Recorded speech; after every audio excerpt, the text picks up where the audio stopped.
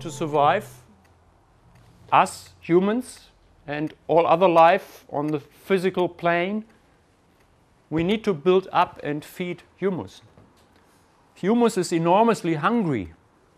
If you, if you see a herd of animals on a piece of land, you're aware you have to feed them, carry hay and other fodder. And uh, the same soil where you have to feed the, the, the, the goats, the cows, or whatever, uh, underground, if this soil is healthy, there is another herd of animals, and it's just as hungry. And it needs a big amount of food, and this food can be anything from compost, degraded organic matter, uh, degrading rotting wood, and, and other material. Okay, is that understandable? It's the, the herd below the ground needs to be fed. If it's not fed, it will die off gradually.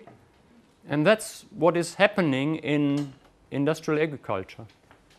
If you only add mineral fertilizer, this doesn't feed humus. To the contrary, it's, it's uh, destroying earthworms and other earth life.